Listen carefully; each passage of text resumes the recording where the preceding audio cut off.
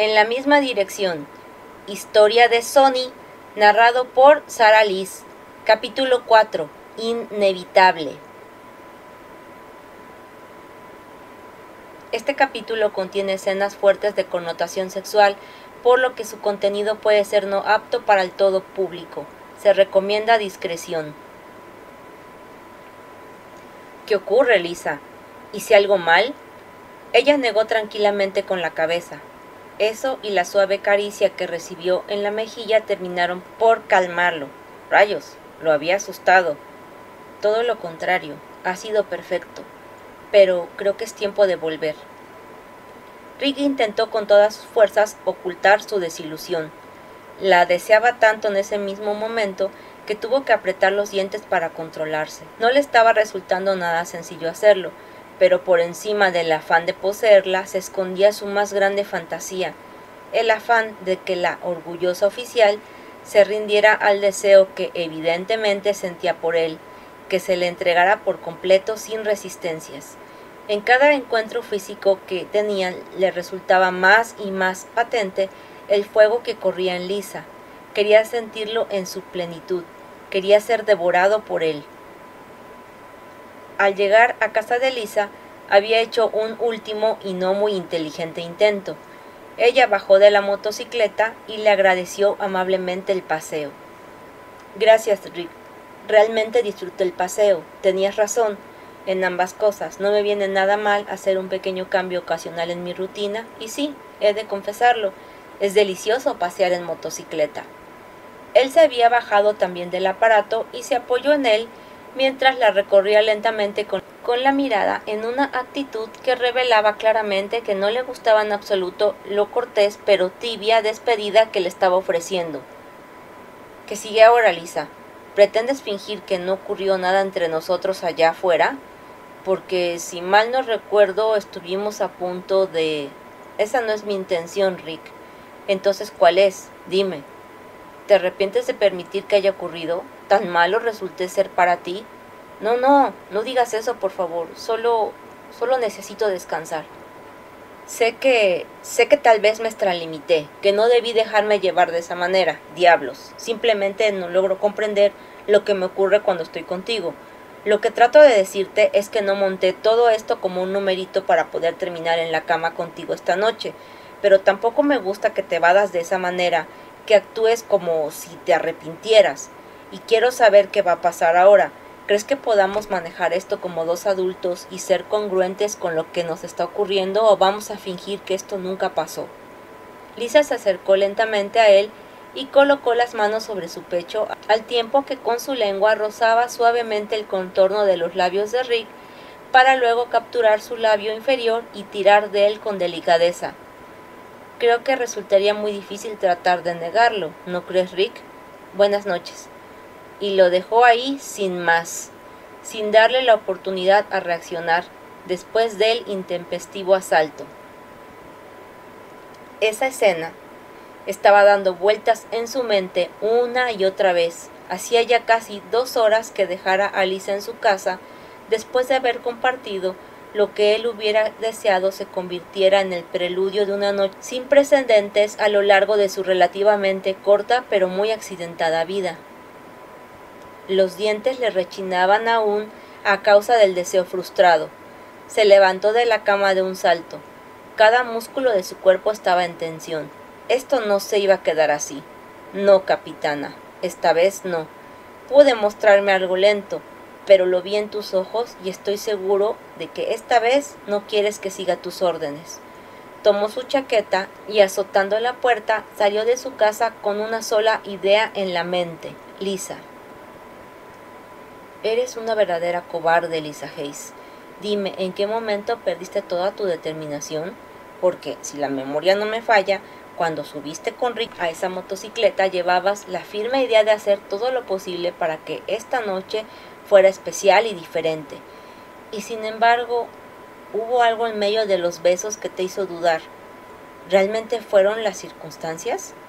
¿Realmente reaccionaste así porque nunca ha ido contigo el papel de mujer seductora y aventurera o fue algo más? Tal vez sentiste miedo, miedo a perder el control, miedo a lo que las caricias de Rick estaban provocando en ti. Cierto, no eres una muchachita en su primera situación caliente, pero si eres sincera contigo misma, esta ha sido la mejor experiencia de tu vida. Claro que hubo intimidad antes, incluso intimidad con amor, y aún así, ningún hombre te había hecho perder los estribos de esa manera. Sí, Lisa Hayes, has de reconocer que estar en los brazos de ese chiquillo arrogante llamado Rick Hunter fue tan placentero como aterrador. Finalmente, la temible comandante Lisa Hayes fue derrotada por el miedo a perder el control sobre sí misma, el control sobre sus propias reacciones, o tal vez el miedo a entregar el corazón. Tonta, tonta, tonta. Debiste aprovechar la oportunidad, debiste. Estos pensamientos y otros similares a ellos llenaban la mente de Lisa, impidiéndole conciliar el tan anhelado sueño. Tan sumida se encontraba en sus reflexiones que no fue capaz de escuchar los golpes de su puerta hasta que estos se hicieron tan insistentes que saltó sobresaltada ante el sonido sordo que retumbaba en la oscuridad de la noche. Rick, ¿qué haces aquí? Algo en la actitud de Rick hizo que Lisa sintiera un súbito e inexplicable calor abrazando sus mejillas. Él no dice nada. Simplemente se queda ahí, parado, con un brazo en lo alto, apoyado contra el marco de la puerta, mientras la recorre lentamente con la mirada obscura, cargada de deseo. Rick, ¿qué ocurre? El silencio es cada vez más pesado. Sé que los contornos de la realidad se desdibujan en medio de ciertos estados alterados de la conciencia, pero en este momento Podría jurar que si no fuera por el fuego intenso en la mirada que atrapa la mía como una mariposa atrapada en una llama de una vela, la oscuridad sería casi total. Rick entra al departamento cerrando su puerta a sus espaldas, y yo comienzo a retroceder impelida por una especie de embrujo. Sus ojos jamás se apartan de los míos, y la lujuria que veo en ellos me fascina y me aterra a la vez. Rick avanza inexorablemente y yo huyo cuanto puedo de él, hasta que realidades más sólidas que mi razón me detienen. Él se para a centímetros de mí, pasa el antebrazo a un lado de mi cabeza para terminar apoyándolo en la pared a mis espaldas. Finalmente, rompe con este juego de miradas y cuando creo que seré capaz de recobrar un poco la cordura, quedo atrapada ahora en el embrujo del roce de su dedo índice sobre mis labios semiabiertos y temblorosos. Ese simple toque me hace sentir escalofríos que recorren mi columna vertebral y desembocan en ese lugar entre mis piernas que hace ya rato ha empezado a latir en salvaje anticipación. Dios, no es posible que reduzca a este estado de sometimiento solo con la mirada y la yema de su dedo acariciando mis labios. La caricia no se prolonga por mucho tiempo, porque sus dedos continúan su recorrido a través de mi cuello desnudo, mis clavículas parcialmente descubiertas por la bata de seda negra que llevo puesta. Bordea el escote y sigue con su exploración, trazando el contorno de mis senos, viajando en espiral hasta una de las cimas endurecidas en las que se han convertido mis pezones, rozándolos con las uñas. El descenso de esa mano parece ir sumiendo mi mente en un abismo cada vez más profundo, en un lugar donde mis deseos y necesidades de mujer toman el control sin pedir consentimiento y claman por satisfacción, una satisfacción que intuyo solo el cuerpo de Rick Hunter puede darme.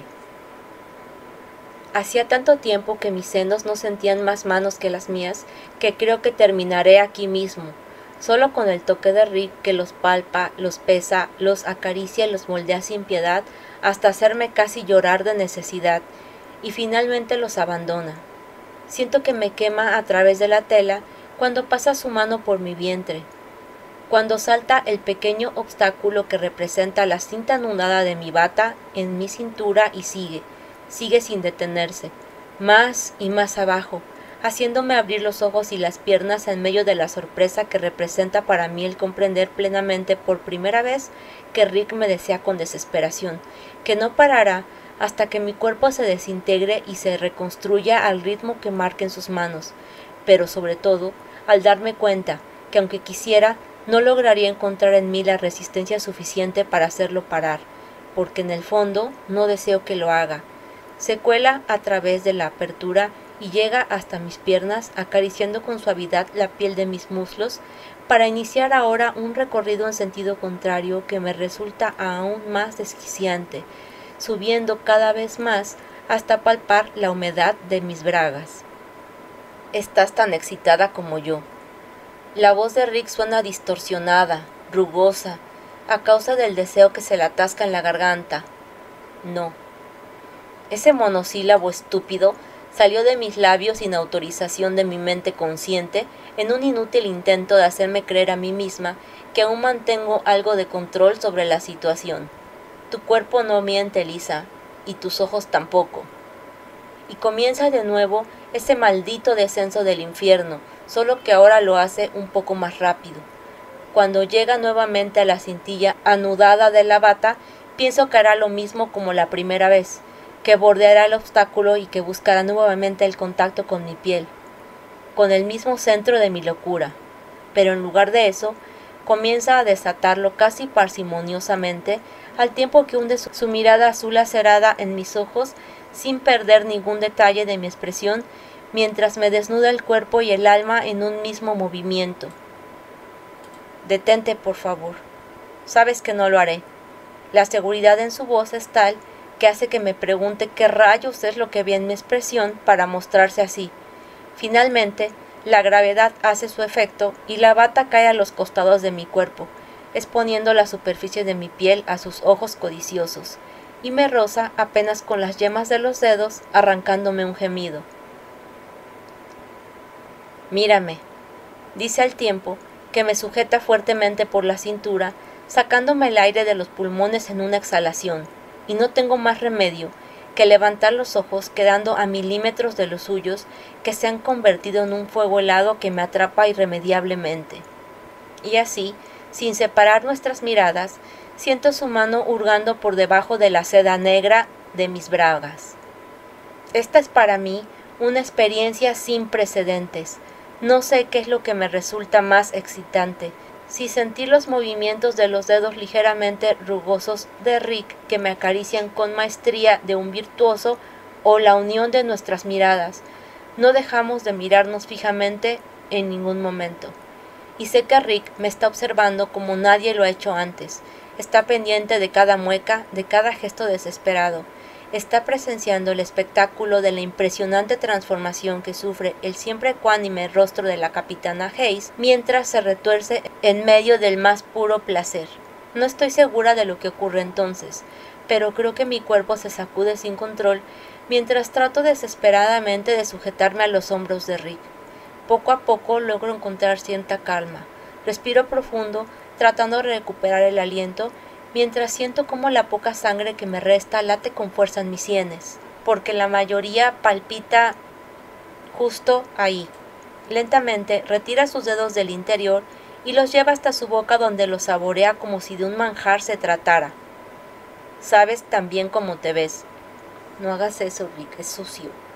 Vamos, Lisa, no seas una niña. Esto eres tú. Huele a ti, sabe a ti y es delicioso. A mí me gusta como todo en ti, y te aseguro que no me quedaré con el antojo de probar tu sabor servido directamente en el plato. Tarde o temprano lo haré. Aunque tal vez eso signifique perderme algo que me gusta mucho de ti y que es justo lo que acabo de descubrir. La expresión en tu rostro. Te ves tan hermosa. Sus palabras provocan en mí escalofríos, pero también un imitable rubor y mi mirada busca el piso en un avergonzado intento de recuperar un poco de control sobre lo que muestran mis ojos. No, no lo hagas, no te escondas de mí, dice al tiempo que me sujeta la barbilla y me obliga a mirarlo nuevamente sin concederme un segundo de tregua a su despiadado examen. Aún nos falta tanto por descubrir uno del otro, pero antes necesito que me respondas algo. Quiero escucharlo directamente de ti, dime Lisa. ¿Te gustó lo que te hice? ¿Realmente lo disfrutaste? Por alguna razón inexplicable, a pesar de lo que acababa de ocurrir aquí, contra la pared de mi habitación, yo conservaba aún restos de pudor, años de aislamiento autoinfligido, siglos de represión femenina, y justo ahora, al escuchar a Rick hablar de mi olor, de mi sabor, y de su inquietud por mi satisfacción de esa manera tan despreocupada e inconscientemente sexy, surge en mí la mujer, simplemente la mujer, sin miedos, sin complejos, sin represiones. Sé lo que quiero y es a él dentro de mí. Lo quiero sentir tan fuera de control al poseerme como lo he estado yo desde el momento en que él cruzó mi puerta, que si me había gustado, qué clase de pregunta idiota era esa. Simplemente no era capaz de recordar algo mejor a eso que me hubiera ocurrido jamás, pero esa no sería la respuesta que escucharía ese hombre arrogante. Oh sí, Rick iba a pagar caro su atrevimiento. Había despertado una parte de ella dormida por un largo tiempo. Había desatado el fuego, así que más le valía que estuviera preparado porque era su turno de jugar. Así que sonrió, mordiéndose su labio inferior de la manera endemoniadamente sexy mientras le miraba con picardía y extendía su mano para palpar su miembro endurecido contenido apenas por el pantalón. ¿Me gustó? Tiempo pasado, piloto. ¿Acaso significa que la diversión terminó? Vamos, Rick, esperaba más de ti. Su abierta provocación pareció divertirle e incitarlo a partes iguales.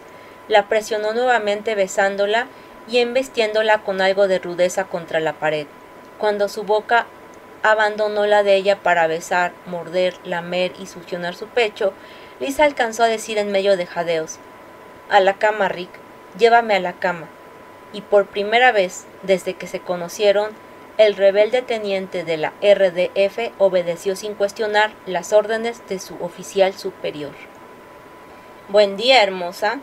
Lisa se encontraba tan inmersa en sus pensamientos que no se había percatado de la presencia de Rick al escuchar su voz de manera tan repentina, provocó que un ligero temblor nervioso la recorriera y vertiera un poco del humeante café que sostenía en su mano. ¡Rayos!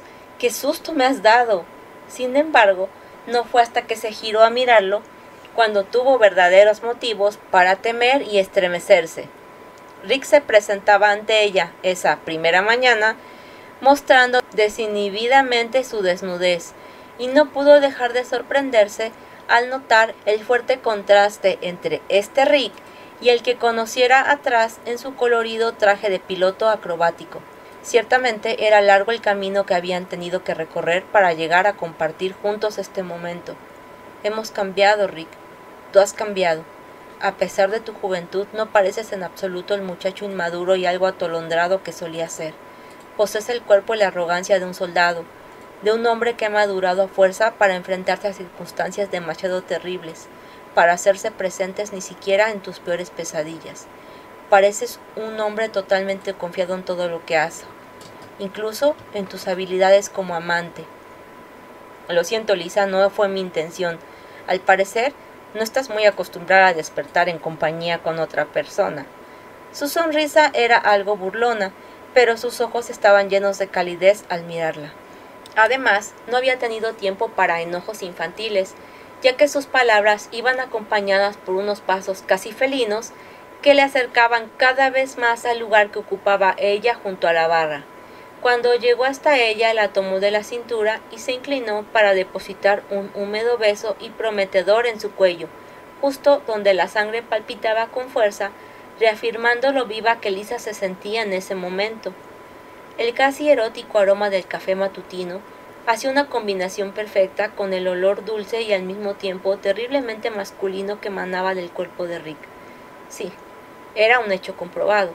Una aromática taza de café y un Rick desnudo besándose un cuello era la mejor manera de comenzar el día.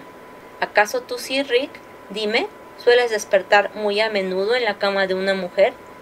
El murmullo de la risa ahogada de Rick llegó hasta ella, Sintió la aspereza de la barba de Rick rozando su quijada y su mejilla hasta encontrarse con esos ojos terriblemente azules a unos cuantos centímetros de los suyos. Sí, definitivamente esto se sentía muy, pero muy bien. ¿Celos, capitana? Y esta vez fue el turno de Lisa de reír. Solo curiosidad, teniente, solo curiosidad. Tus intereses son demasiado ñoños, Lisa. A mí me preocupa mucho más saber ¿Por qué demonios traes puesto ese uniforme cuando lo que quiero es tenerte desnuda y hacerte el amor aquí mismo en tu cocina? De manera automática, Lisa sintió que los ligeros indicios de excitación que le había enviado su cuerpo desde el momento que escuchó la voz de Rick a sus espaldas crecían exponencialmente con esas palabras francamente crudas pero estimulantes. Para agravar aún más su estado, Rick comenzó a frotar contra ella su incipiente erección. Lo lamento, Rick, no hay tiempo para eso, debo ir a trabajar. E intentó, inútilmente, librarse de la presión del cuerpo de Rick, que para ese momento ya la había acorralado contra la barra a sus espaldas. Solo consiguió que la aplastara con mayor determinación. De acuerdo, en este caso seré razonable, tendrá que ser rápido. No hay tiempo para preliminares, ni siquiera para sacarte la ropa. Lisa abrió los ojos sorprendida al ver que Rick hablaba muy en serio. En su mirada solo había determinación y deseo. Sin darle tiempo a replicar nada, la tomó por los hombros y la giró para hacerla quedar inclinada sobre la pulida superficie de su mesa de cocina. Y desde ese mismo momento todo fue locura, gemidos y gritos apenas contenidos, electricidad y rendición.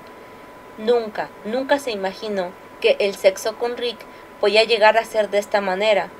Era el único hombre desde Carr que había logrado despertar en ella un verdadero interés el único que en cierta medida había hecho renacer en ella esas ilusiones románticas olvidadas que no había sentido con nadie, ni siquiera con ese tonto espejismo llamado Lynn Kyle.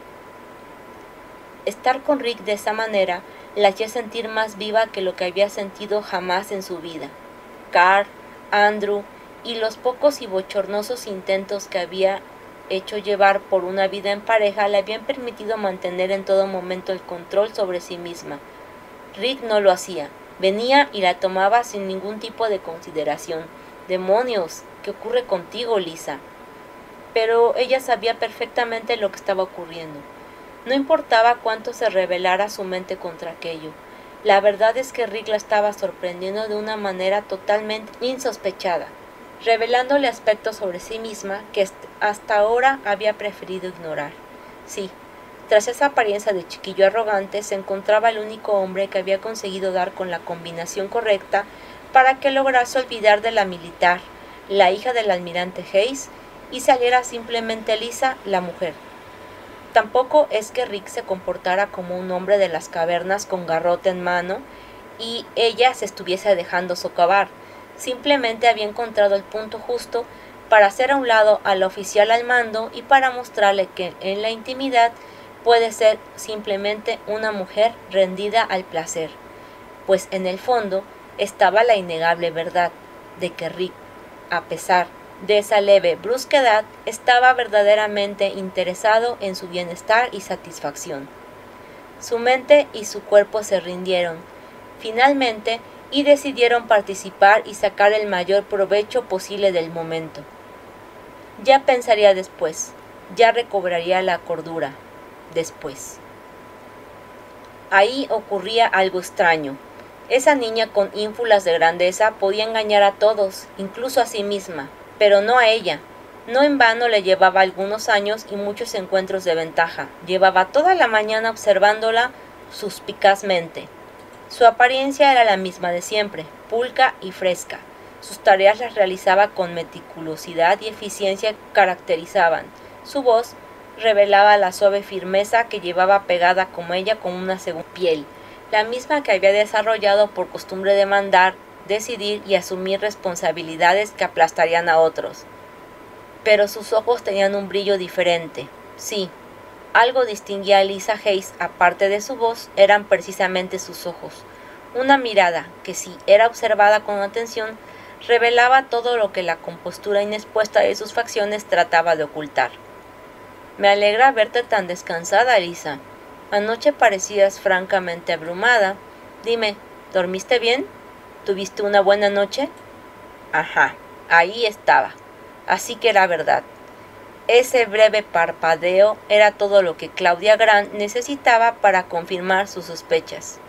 La mejor en mucho tiempo, Claudia, simplemente la mejor.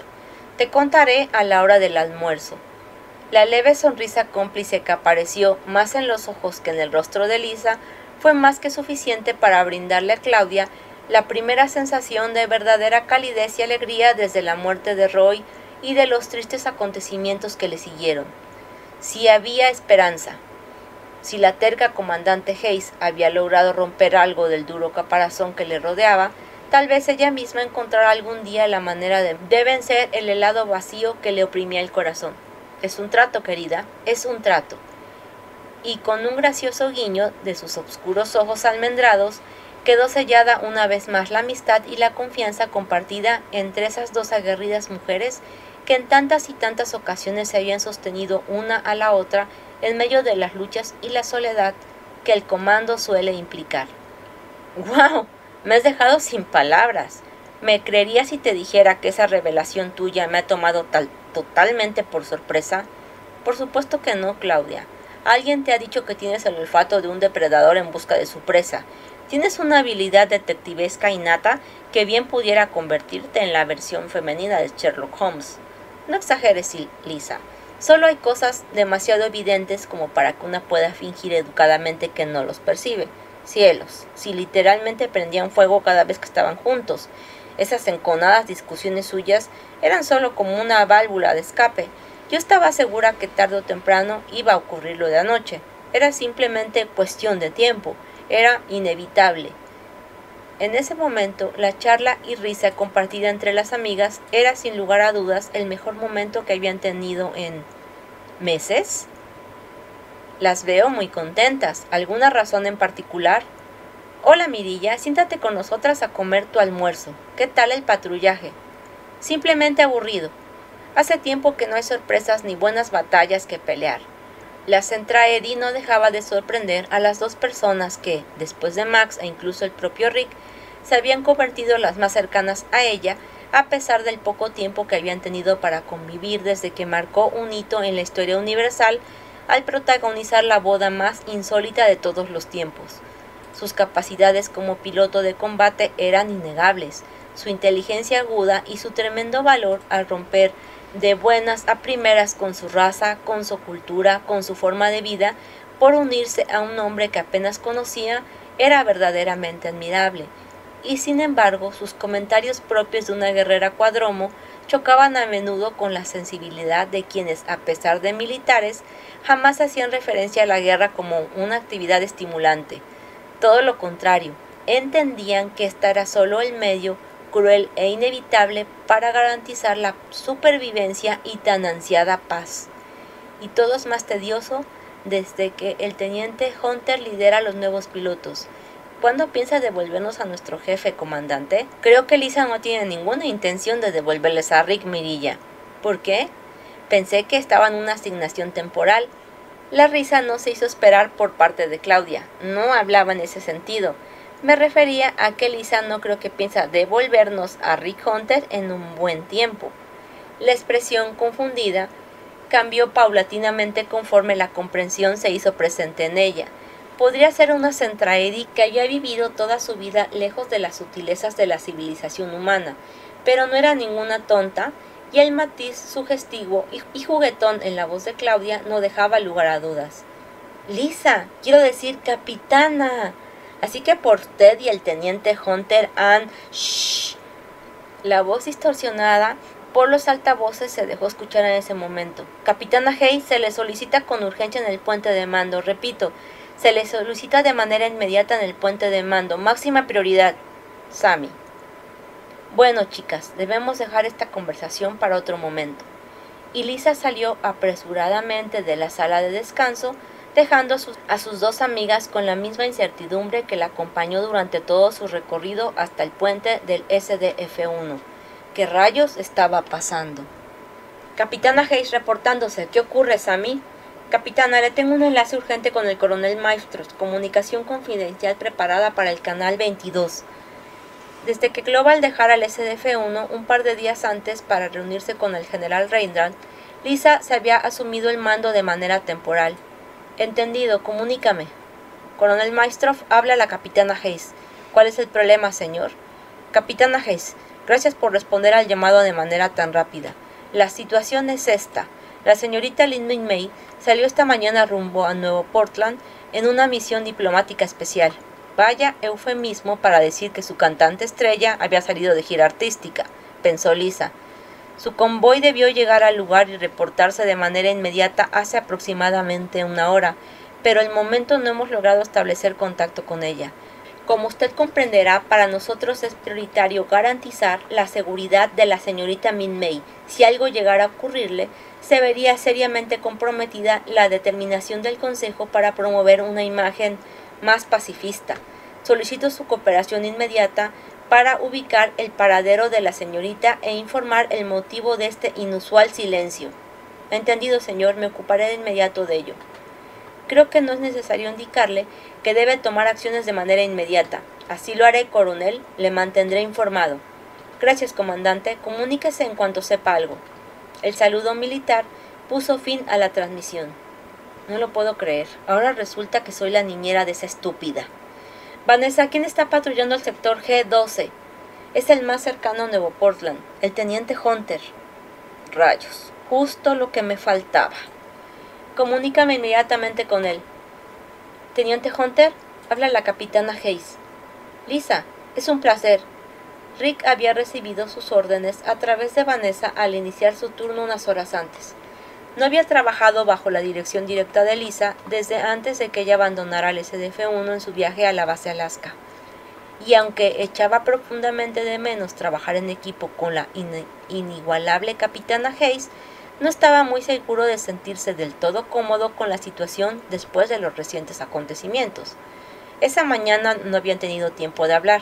Bueno, en realidad sí habían tenido el tiempo, pero habían preferido emplearlo de una manera distinta y no le apetecía que su primera conversación después de fuera otra vez de una fría y poco privada pantalla de comunicaciones. Se ha presentado una situación de emergencia, teniente. El convoy de un personaje importante se encuentra desaparecido. Se cree que se puede encontrar en algún punto entre el sector G12 que se encuentra patrullando y el sector G1. Olisa era más profesional de lo que creía, y eso ya era mucho decir, o él era pésimo en la cama porque la actitud seria y distante de Lisa le hacía dudar que solo unas horas antes esa misma mujer se encontraba sudorosa y excitada entre sus brazos. ¿Nuevo Portland? Una ligera sospecha comenzó a nacer en su mente. Así es, teniente. Su misión es ubicar la posición del convoy y asegurarse de que todo esté en orden. ¿Entendido? Entendido, Lisa. ¿Puedo preguntar quién viaja en ese convoy? Lisa dudó por un instante. Min. Rick abrió los ojos sin poder dar crédito a lo que estaba escuchando. Una batalla se libraba dentro de él. Por un lado, la acostumbrada preocupación por el bienestar de Minmay se hizo presente. Por otro, maldita sea, ¿por qué ahora? Las cosas entre él y Lisa no podían haber tenido un inicio más incierto. No podían haber tenido un inicio más incierto. Si había un Dios allá arriba, era un hecho de que no estaba haciendo nada por facilitarle las cosas. Lisa esperó varios segundos por una respuesta, una señal, cualquier cosa que le diera una pista acerca de la posición de Rick en todo esto y de cómo quedaba ella situada en su vida. Pero al ver que no llegaba, simplemente decidió despedirse y dar por terminada la conversación. Suerte, Rick. Mantén la comunicación abierta. Suspiró profundamente y se preparó para dar seguimiento a la importante misión que se le había encomendado. Maldito maestro. Mala suerte esta vez, Lisa. Parece que el destino insiste en cruzar siempre a Min Mei en tu camino. Tal vez sea una especie de señal de que, a pesar de todo, el eterno romance entre Rick y Min Mei sea algo inevitable. Continuará. ¿Qué tal RoboFans? Espero que se encuentren muy, muy bien. ¿Y qué les pareció esto? Lo tuve que censurar, sí. No tanto como me hubiera gustado, porque si no perdía un poco de emoción y de contexto, pero sí tuve que quitar algunas palabras. un par de renglones solamente. Pero bueno, espero que les haya gustado. Me costó trabajo leerlo. Me costó pena pero todos ustedes pidieron que se censurara lo menos posible y aquí está. También me están pidiendo que la historia la suba completa a fanfiction. A lo mejor la subo a mi fanfiction. Les digo, esta historia no es mía, es de Sony, ella me la cedió Por ahí tengo una pequeña carta que me escribió en donde me daba la autorización de continuar la historia. Hasta este momento la historia es eh, casi en su totalidad de ella, con algunos pequeños arreglos o censuras de mi parte, pero es hasta ahorita todavía su historia de ella. Me, me parece que solo hay un capítulo más de ella y ya posteriormente ya tendría que intervenir con un capítulo que había escrito yo y hasta ahí creo que se había quedado la historia. Bueno, pues espero que les haya gustado, que les haya gustado también el, recorte o que no se les haya hecho ni muy censurado ni muy fuerte, porque por ahí creo que hay un par de adolescentes que escuchan el canal y, y bueno, en fin. No me queda más que decir más que apenadamente que no se les olvide suscribirse a mi canal, darle like, activar la campanita, compartir este video, pero sobre todo recuerden que aquí se vale soñar. Bye.